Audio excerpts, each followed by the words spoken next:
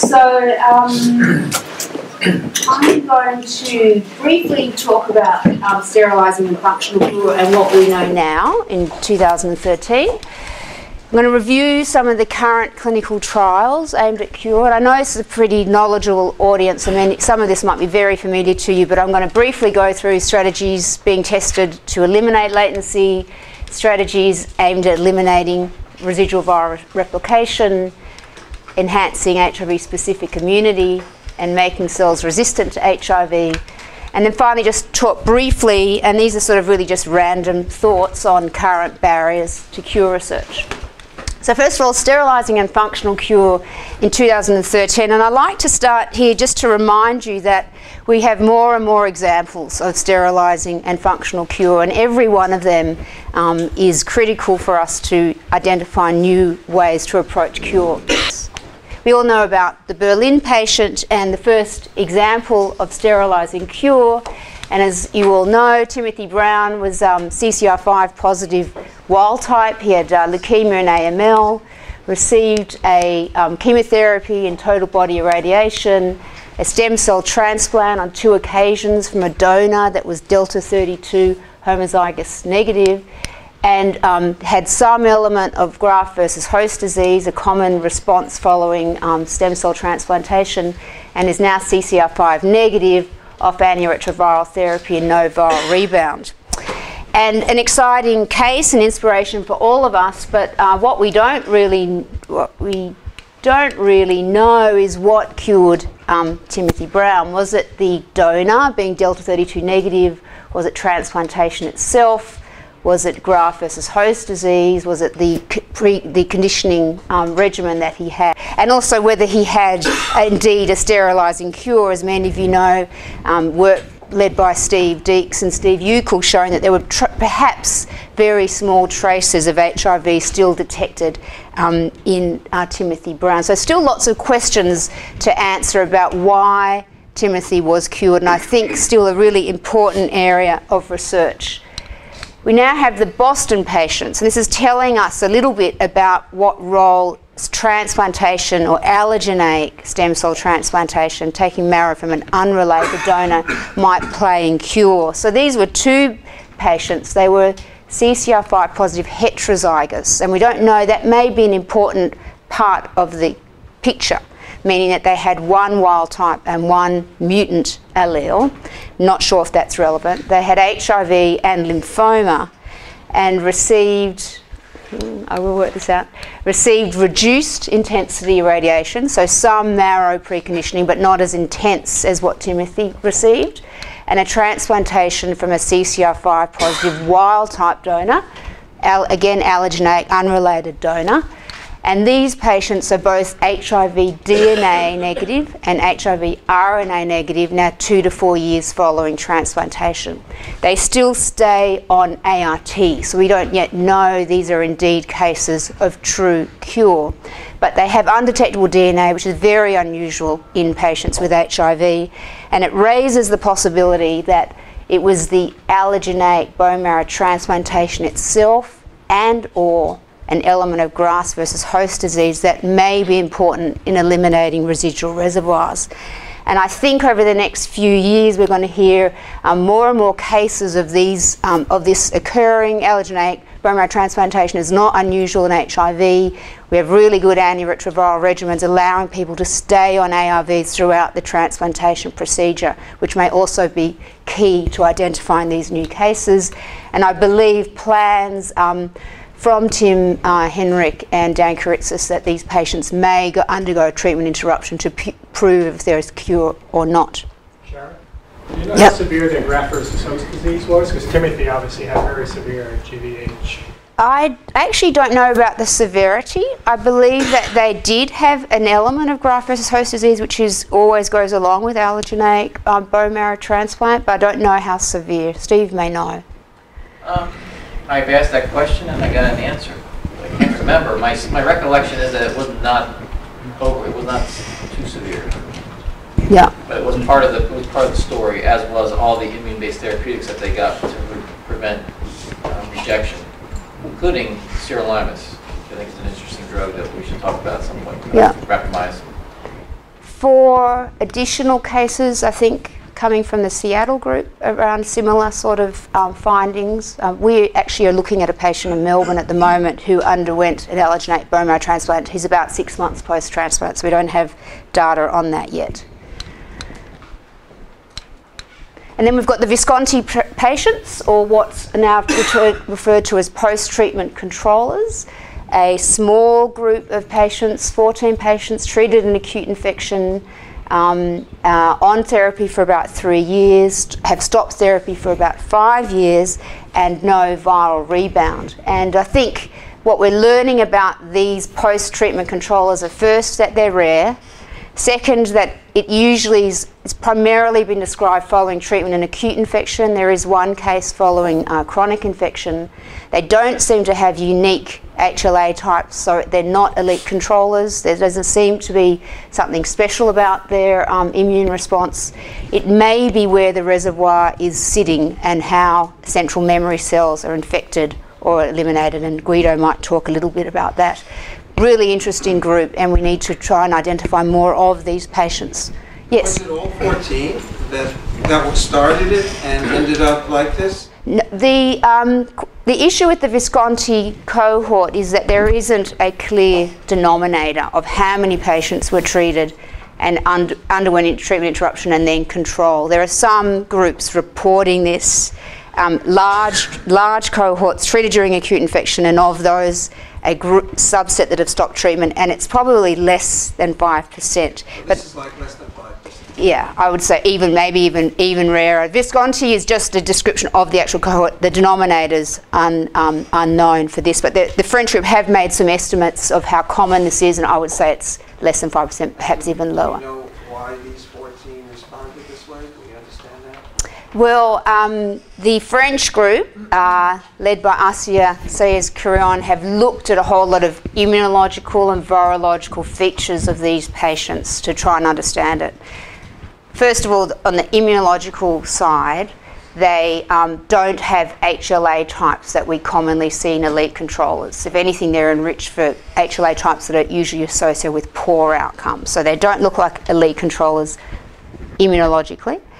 And he's done a bit of work in where the virus is sitting, which subsets the virus is sitting in. And it um, this, this um, article is in press and I guess will come out very soon, shows that perhaps you have preservation of central memory T cells. You have fewer central memory T cells infected. So there, we don't really know why these patients have this phenotype, but we need to know. And we need to know more. There must be many more of these patients around the world than this 14 patients described in France.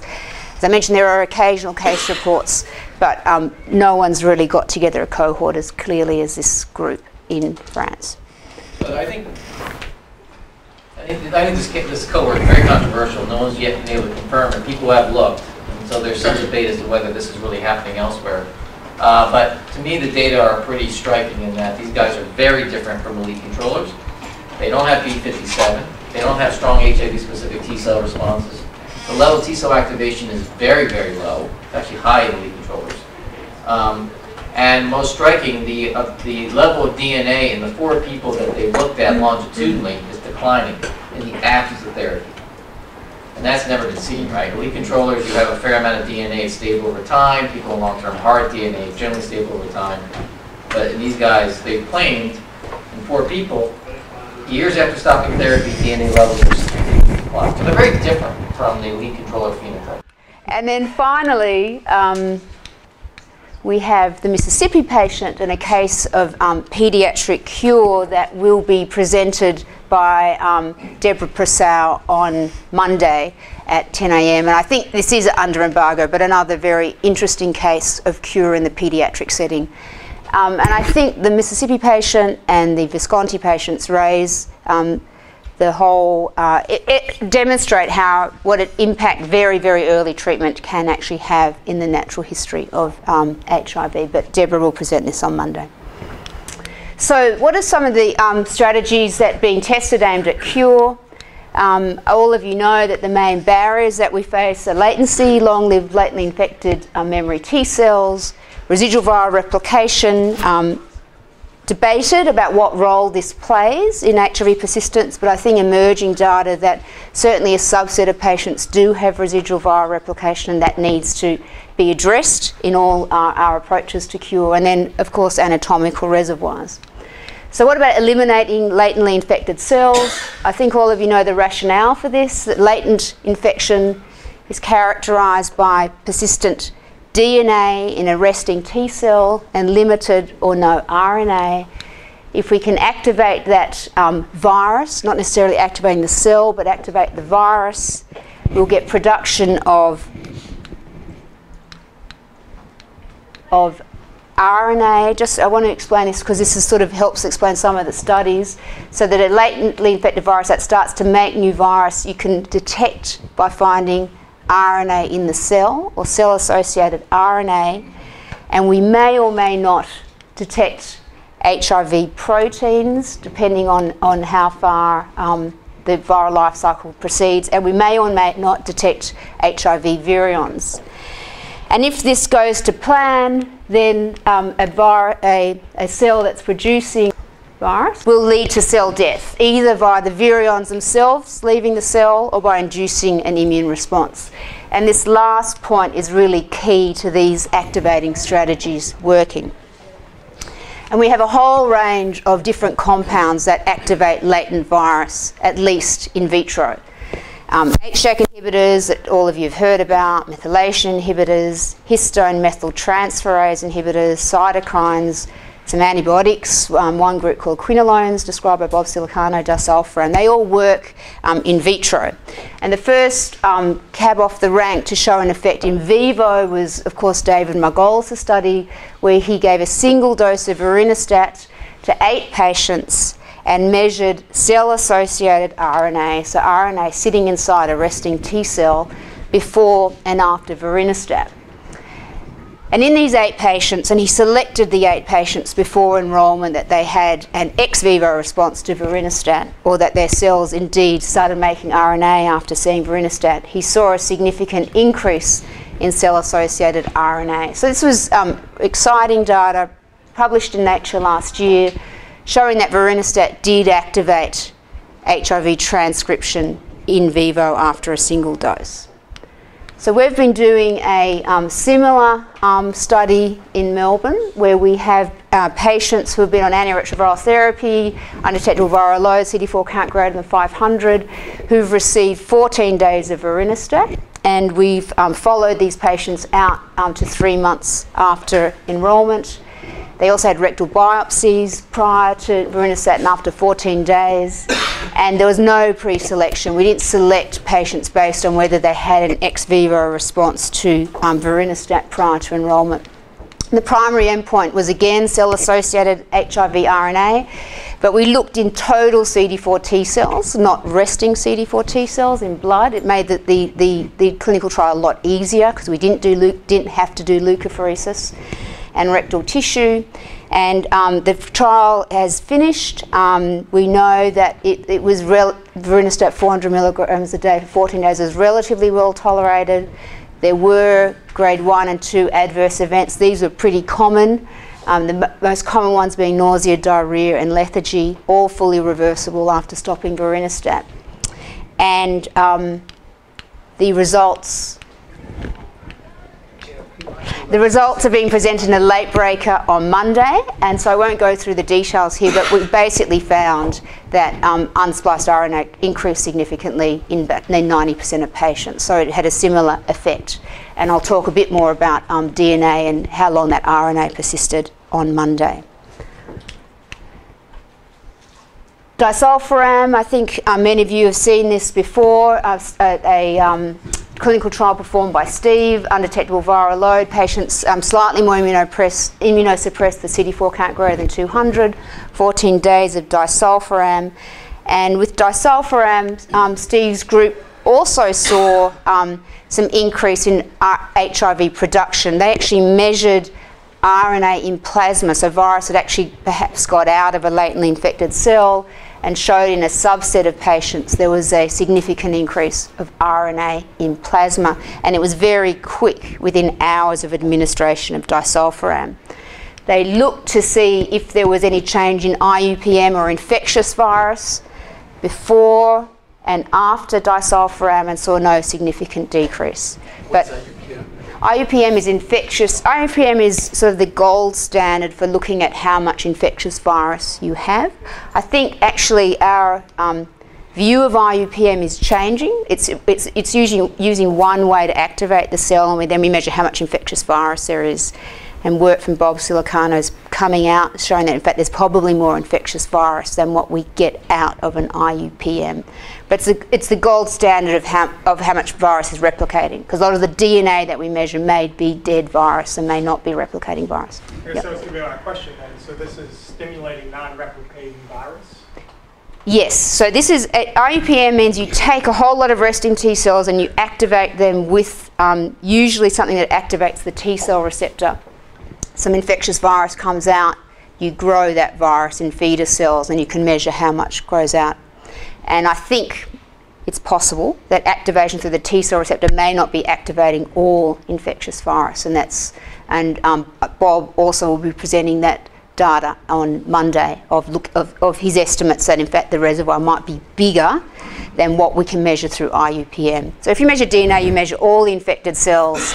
Of that, about um, about 10% is actually integrated, and of that, about 10% is infectious. That's usually the sort of rough ratio. So DNA is perhaps an overestimate of how much infected cells are there.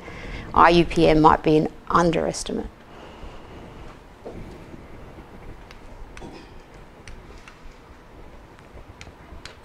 So um, these, there are many other trials currently being underway or completed looking at activating agents. I've told you about the Vorinostat study, finished and will be presented on Monday. Panobinostat is another HDAC inhibitor, far more potent as an HDAC inhibitor and more potent at activating HIV in vitro. And this is being uh, performed at, uh, in Denmark. The dosing slightly different because panobinostat has a long half-life. It's just given once, one dose three times a week, and they're giving it in four cycles, a week on, a week off, a week on, a week off. 16 patients, that's all fully enrolled. And in fact, we're collaborating with this group looking at unspliced RNA and doing that at the moment um, in Melbourne in collaboration with Lars Ostergaard. And then there's romidepsin, which is um, a intravenous uh, HDAC inhibitor, also um, a very potent HDAC inhibitor, more potent than vorinostat, very potent in vitro. Most of that work's being done by Gilead, but looks potent in inducing virus production. And ACTG are um, planning, or a study may already be underway with single dose romidepsin. None of these trials, people are stopping ART, right? No one's stopping ART. So that I think a key thing of all the activating studies is you have to be on ART on on at the time of activation, otherwise the whole purpose is defeated. But ultimately, there will be to determine if you've had an impact on infectious virus. You'll need a treatment interruption. Actually, in the um, Danish study, they've in the protocol there's an optional treatment interruption based on they are measuring infectious virus prior to the to the four week cycles of, of panobinostat before and after and I think if they see encouraging results their ethics committee has agreed to an optional treatment interruption but we haven't done that in Vorinostat actually from the data we've seen I wouldn't be recommending that Is there not something slightly dodgy about the ethics of it, that about kind of waking up a virus and then taking people off treatment? You know, yeah yeah well fir- does seem a bit dangerous. No, first of all, no, absolutely no, no, makes no sense to stop ART when you wake up the virus. So the whole rationale for this working is that you can't have ongoing rounds of replication. But if you've waken up the virus, there's no new infections because the person's on treatment, and there's evidence that the latently infected cell dies or the number of infectious virus reduces over time, and that the reservoir is reduced to a small size, then that's the point in time at which you might consider a treatment interruption. So it's certainly not the time of activation, it's after you've shown evidence that you may have affected the amount of infectious virus. Um, Christine Katlama, uh, in, a, in a collaboration called Eramune, has been looking at three doses of IL-7. IL-7 is a little, it's a little controversial what IL-7 does. There's some evidence that IL-7 is also a latency activator, but IL-7 also can cause proliferation of infected cells. But they've given three doses of IL-7 together with intensification, so all their patients received maraviroc and raltegravir in addition to IL-7. And um, that study is fully enrolled and they're presenting it as a poster in CROI. And then um, disulfiram, um, we've seen the initial work presented by Steve um, last year, where um, together with AMFAR, looking at a three-day dose escalation study of disulfiram. Um, the PI in Australia is Julian Elliott, being done with UCSF. Um, this is a really good example of some of the regulatory issues in um, getting cure studies out. Steve might want to talk about this. I'll, I'll, talk a little bit about at the end, but great idea, um, meaning that we think more people metabolize disulfiram very differently. And in Steve's first study, there was some evidence that if you had higher levels of disulfiram metabolites, you were, the, you were more likely to be having some activation of latent virus. So the rationale here is we're just a very short course and increase the dose above the current licensed dose of 500 milligrams a day. But that has caused us um, an incredible uh, bureaucratic headache and nightmare, which we're, so, we're slowly getting through. And I think we will get this study done, but um, we have the funding and uh, we're just going through the painful process of um, getting it approved. And then finally, um, anti-PD-1, which I'll talk a little bit about in a moment. So one of the key issues, and we've uh, I've brought this up already, is if we activate latent HIV, this only makes sense if the virus actually dies. And a lot of people are saying um, that this isn't going to happen and that we're going to need something more than just activating the virus. And, and some of that comes from we're going to need something else that will kill the cell. And a lot of that is coming from some in vitro work that Bob Siliciano did, all in vitro, showing that if you activate a latently infected cell in vitro with the HDAC inhibitor vorinostat, the cell doesn't die. And you actually need to add in effective um, HIV specific T cells to eliminate that cell. We don't yet know if that works um, in vivo. But I think there's a whole lot of issues as we're getting more of these studies coming out. There's a whole lot of issues that we need to think about with latency activators.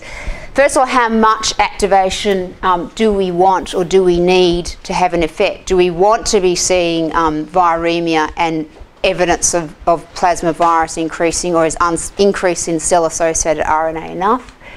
How much activation is safe. We um, obviously don't want to be, when we first did the vorinostat, we're planning our vorinostat study, a lot of people were nervous about activating immune, you know, making immune activation worse, which actually we haven't seen. But, you know, how much activation will be safe even in patients on antiretroviral therapy. Should we use combination activation in vitro? If you do use combined um, activators, you, in, with some combinations you get synergistic activity. I think we're a way off that because we need to see the safety and efficacy of single agents first.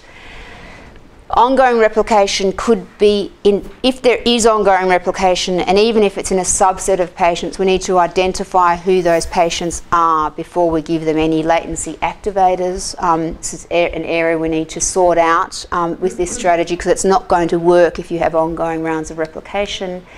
And what can we use um, if we're really going to need um, a kill approach as well? So most people are thinking of killing in the context of latency activating activators by enhancing HIV specific immunity. And there are several ways that we could do that. And um, the first uh, approach, which I think looks very attractive, is using anti PD1 or anti PDL1 because these agents could potentially have a double hit because they could activate latency and they can also boost HIV specific T cell immunity. So I'm just going to explain that briefly. So Latently infected T cells um, express PD1. We know that from Nicolas Chomont's work that um, you're more likely to find virus in PD1 positive cells. And PD1, is, PD1 actually binds to another molecule called PD-L1. And basically when PD1 binds to PD-L1, it basically turns the cell off or basically shuts down the activity of that cell. So it suppresses, it's a way of sort of keeping the immune system under control. It's like the brakes of the um, immune system, stopping widespread T cell activation. So we now have um, antibodies that can block that interaction. They can either bind to PD-1 itself, so anti-PD-1 antibodies, or antibodies that can bind to PD-L1, anti-PD-L1. And Nicola and Rafik have shown if you block that interaction, virus comes out of a latently infected cell. So anti-PD-1 and perhaps anti-PD-L1, though that hasn't really been demonstrated yet, are also latency activators.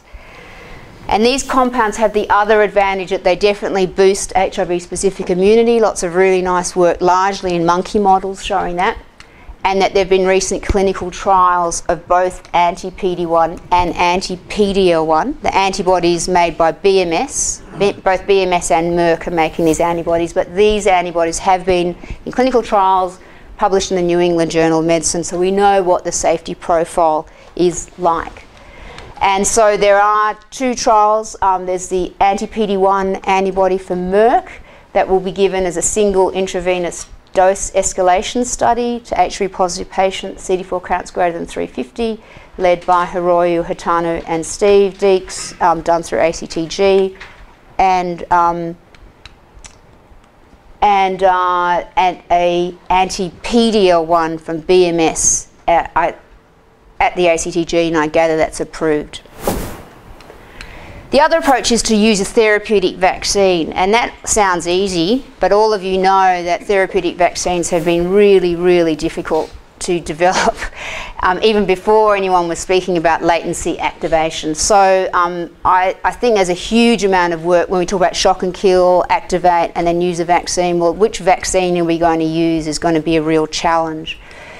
But I just want to give you one example of a vaccine that looks quite um, promising, and that was uh, it's a vaccine produced by Argos, and it's a dendritic cell-based vaccine that uses patient-derived virus. And in this clinical trial, they took patients on ART, gave them the vaccine, and then had a treatment interruption.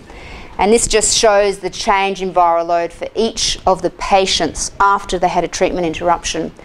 And it was quite promising, meaning that um, there were many patients that had a reduction in the set point of viral load, um, and in those that responded, a, a, reduction in viral load by about a log. So this looked pretty good a as a therapeutic vaccine without any latency activation, just taking someone on ART, give them the vaccine, and stop, um, stop drug. But this has been a really difficult area in the vaccine world um, to develop an effective therapeutic vaccine. So it's going to be quite tough getting one and knowing which one we should choose if we combine it with an activator. Yeah, Jules. What's the mechanism of action for this? Um, I assume it, it, it was a I, it was a dendritic cell vaccine. So I assume it boosts T cell immunity. So HIV specific T cells, whether it was CD4 or CD8, I don't know those details. What are the characteristics of these patients? I don't know much more other than they were on ART at the time. I'm pretty sure they were all patients treated during um, chronic infection. Yeah, I mean, Steve, these, these guys, they're generally long-term treated people who had, somehow, the, in order to get into the study, you had to have access to the pre-treatment viral load. So people had to be either off therapy, going on therapy, or to be some stored samples with the virus because they, the key thing here is that they actually exposed the virus in the test tube patients, they expose the cells to the patient's own virus, and that's hard to do. So that was the challenge. Yeah. But generally, they were long-term treated people when the infusions were, when the, I think the. Yeah, and it was, and they were, they were chronically treated. They weren't during uh, acute sure infection. Only chronically yeah. And, and so one of the, I think that one of the two people on the right, they didn't rebound actually in the absence of therapy. So they had virus before, they had viral loads that were detectable before, and after interrupting therapy, the virus did not rebound. They looked like elite controllers. So I actually put them in the basket of other potential cures. Post-treatment control. Uh, do you know the duration of the uh, at which Follow this up? was? Yeah, I think this was quick. Yes, I don't know. I don't know how long. It looks uh, it looks a really interesting uh, vaccine strategy, and uh, you know there there are many out there, um, and it's I still think that next leap to try and combine vaccine with activation is going to be a tough one.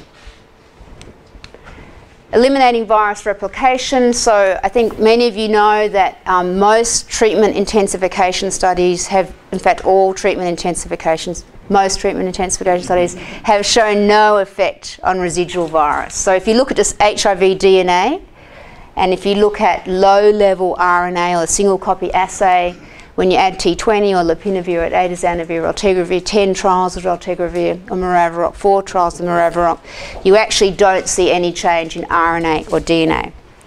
So adding more antiretrovirals is not going to get rid of virus persistence. But what some of these trials are telling us is that that what, but what this what this doesn't tell us is whether there's virus replication or not, because that's a key question. And I think four of the 10 raltegravir studies are actually showing us that in some patients you do have residual viral replication. Now that's not going to mean that adding raltegravir cures you, but it means that you're going to need raltegravir or something else if you're going to activate latency.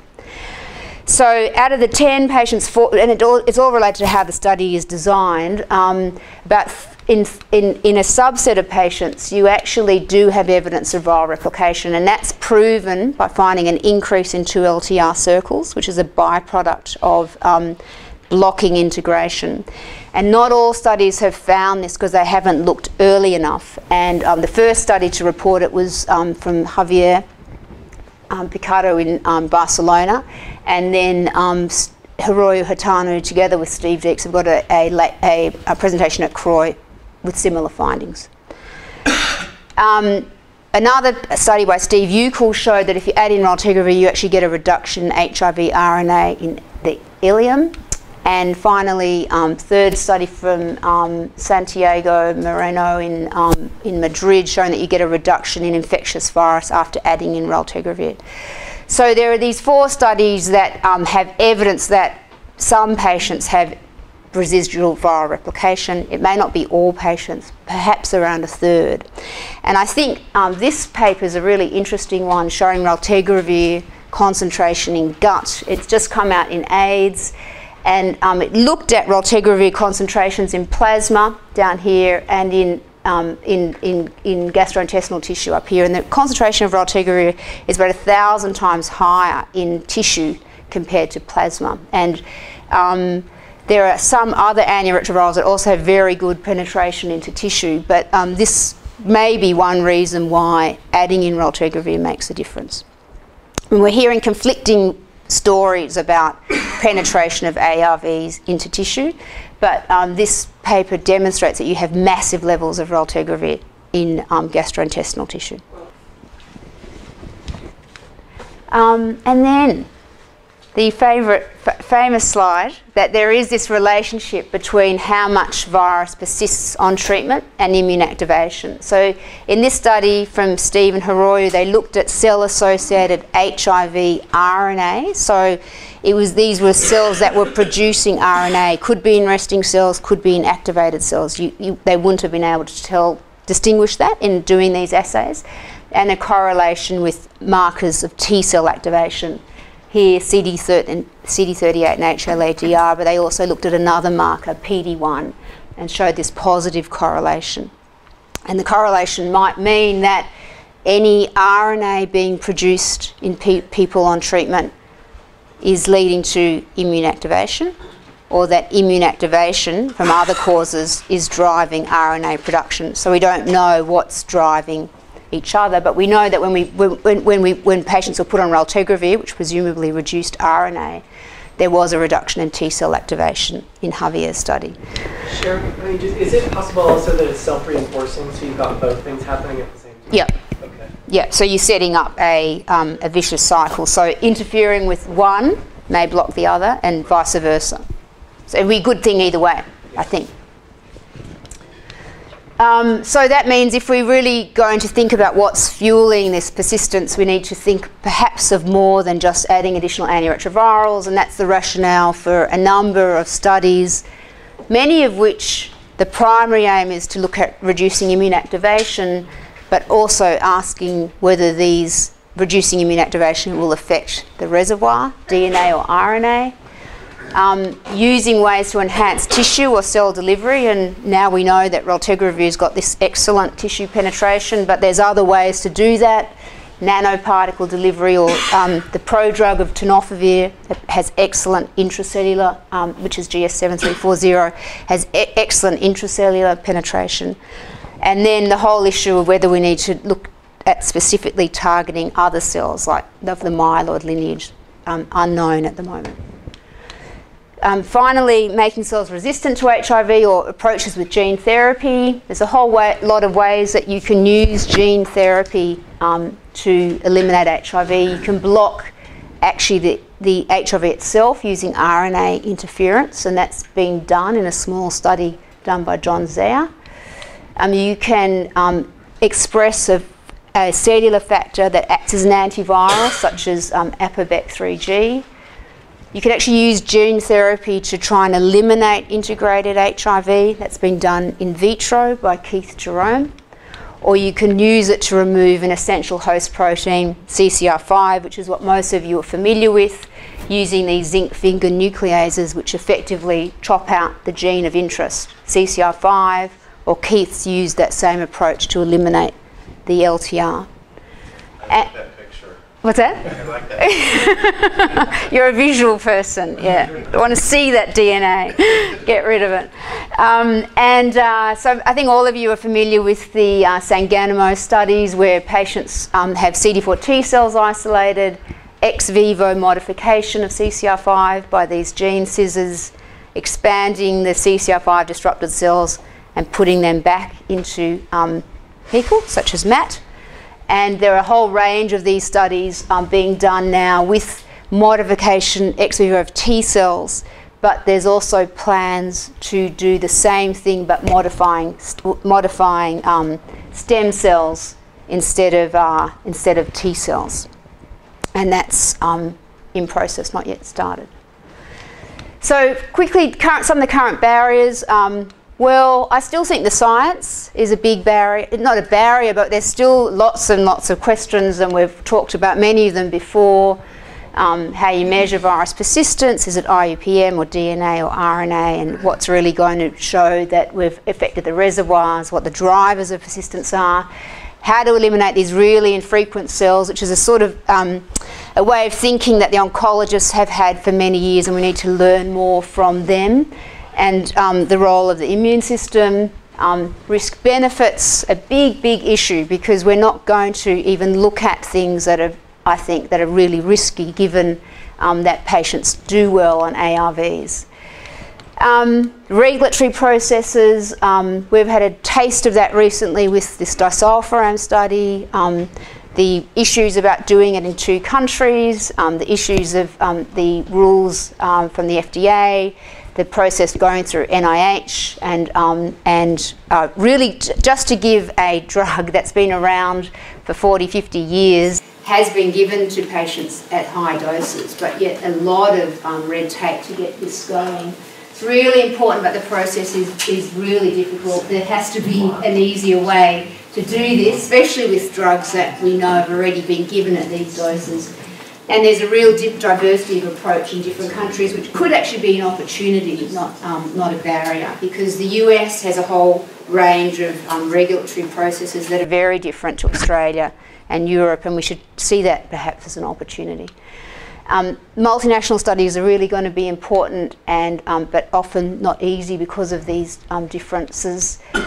Um, patient engagement has I, I, don't want you to give the wrong impression. It's not a barrier. The, my experience with vorinostat in Australia has been that patients were really um, engaged and we had tremendous support from the community.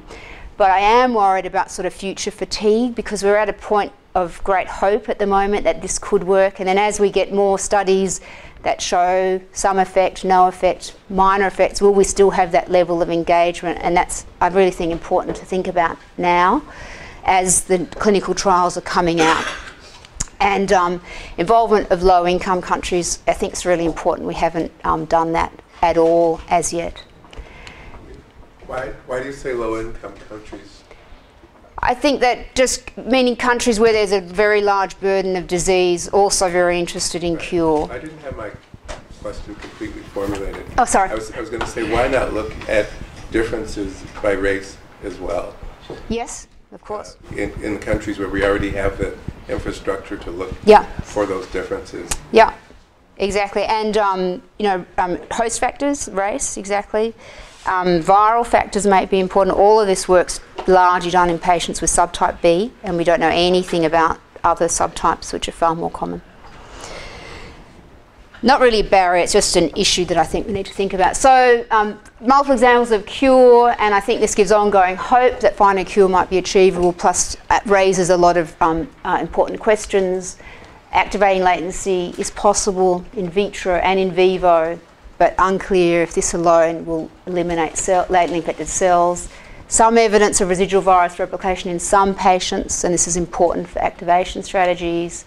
Gene therapy, um, promising, um, but safety and access will be a significant issue. And I- identified some of um, the barriers. Just want to acknowledge um, all the people that I collaborate with and funders, particularly, particularly DARE, AMFA, Merck, and the Australian government. And just to remind you, actually, Rosanna, I haven't got all the slides, but just to remind you about the um, IS um, Cure Symposium that will be held at in Kuala Lumpur in June, um, and uh, 29th and 30th of June. And IS are continuing to still do um, a range of activities through their Cure strategy. Um, there's an, uh, a group focused on ethics, a group focused on social research, industry engagement, and Cost effective. cost effectiveness. And these are all um, active groups, with all with community representation, tackling some of those issues. Thank you.